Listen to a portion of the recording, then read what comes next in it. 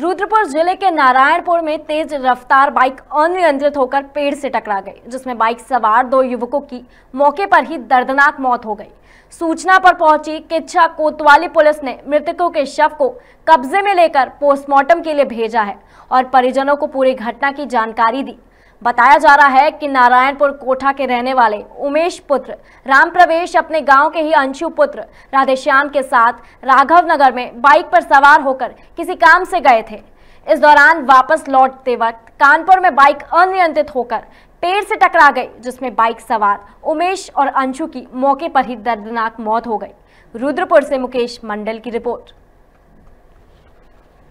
ये आनंदपुर नारायणपुर क्षेत्र की घटना है, जहाँ पर एक दोपहिया वाहन जो अनियंत्रित होकर के एक पेड़ से टकराया, जिसमें दो युवकों की मृत्यु हुई है